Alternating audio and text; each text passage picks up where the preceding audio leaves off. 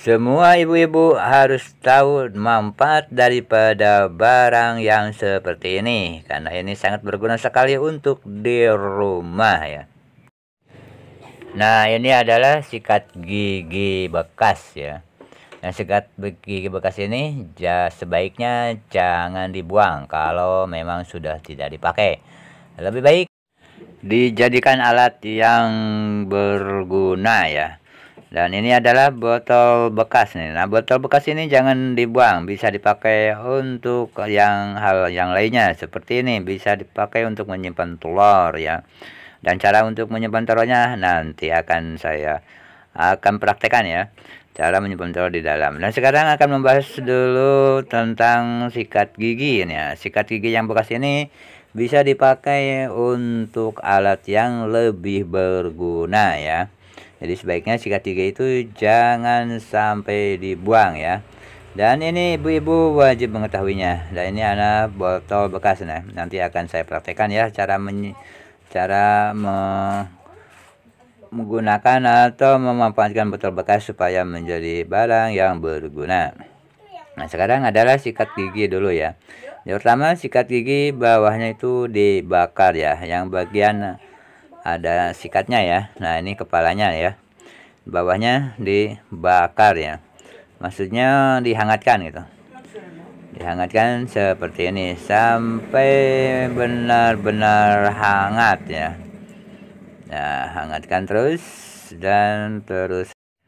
Mungkin ibu-ibu akan penasaran ya gimana jadinya setelah sikat gigi bekas ini dihangatkan silakan ditonton terus sampai benar-benar bagaimana sih ya nah inilah hasilnya. Setelah berikat gigi dihangatkan bisa dibentuk seperti ini. Dan ibu-ibu mungkin masih penasaran ya fungsinya untuk apa Nah, sekarang akan saya praktekkan fungsi daripada sikat gigi yang sudah dibengkokkan seperti ini. Ini sangat berguna sekali, apalagi ibu-ibu yang punya bayi. Ibu-ibu yang punya bayi tentunya sangat memerlukan sekali sikat yang sudah dibengkokkan seperti ini. Untuk apa? Ya, sekarang kita praktekkan. Sikat gigi ini berfungsi untuk membersihkan seperti ini.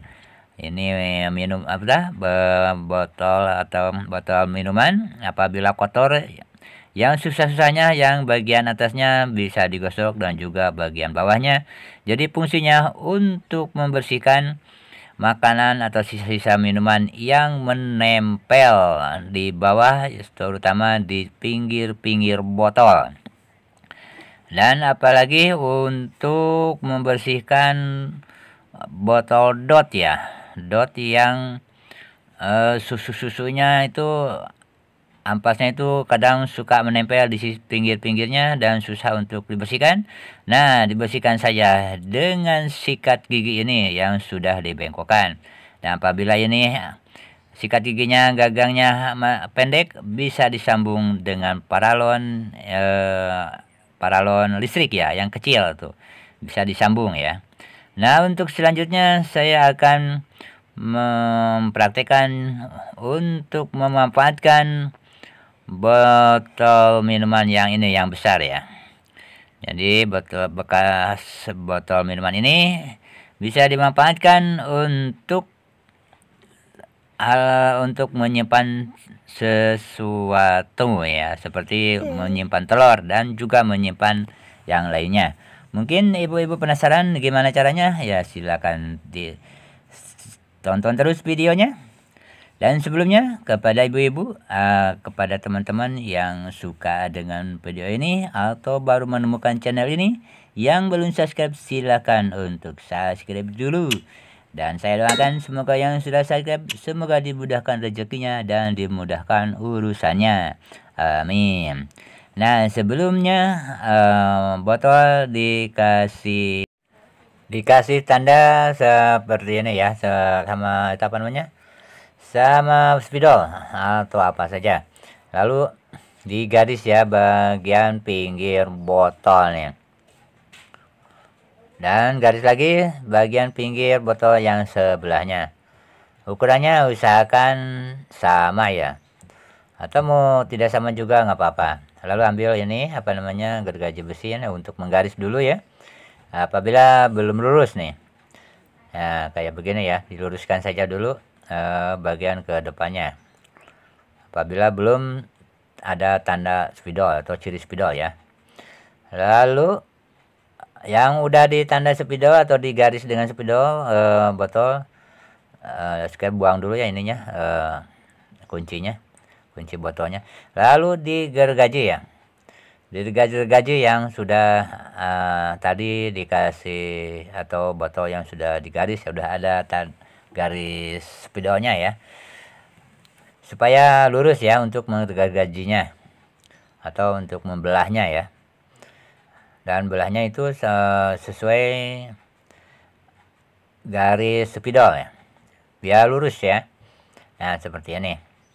Dan untuk menggergajinya itu diusahakan jangan terlalu ditekan ya. Harus uh, uh, itu uh, agak mengambang itu jam karena jangan terlalu ditekan. Kalau terlalu, terlalu ditekan itu bisa malah sobek itunya botolnya ya. Jadi enggak lurus. Uh, nah ini kasih ta ciri lagi atau tanda lagi ya atau digaris lagi karena hilang ya. Tadi bagian bawah dan sekarang ini bagian yang sebelahnya lagi ya. Kalau yang tadi udah beres ya.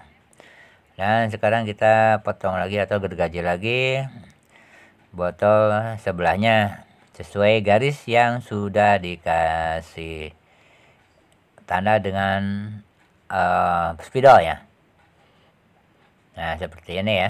Dan ini botol-botol bekas ini sebaiknya jangan dibuang ya. Lebih baik dimanfaatkan